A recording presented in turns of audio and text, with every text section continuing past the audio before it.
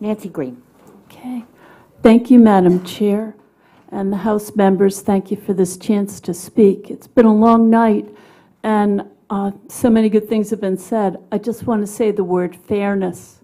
Just as, uh, as legislators and as representatives of Rhode Islanders, to think of fairness.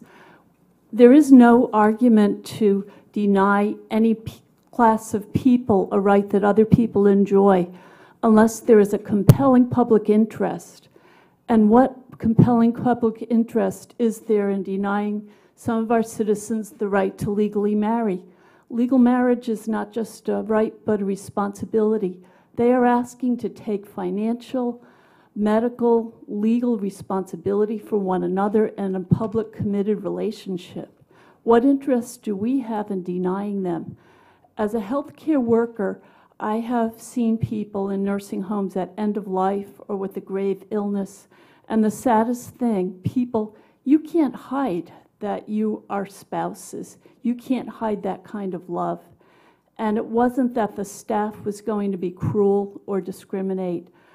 They just were afraid to say that they were not just roommates. And I saw people go through this when they had so much else, so much else grief in their life. To add that to them, what justifies that? Uh, people had told me about legal measures they took to take responsibility for each other since they were denied marriage. Why, why not just make a bold stroke and do the right thing for fairness and justice?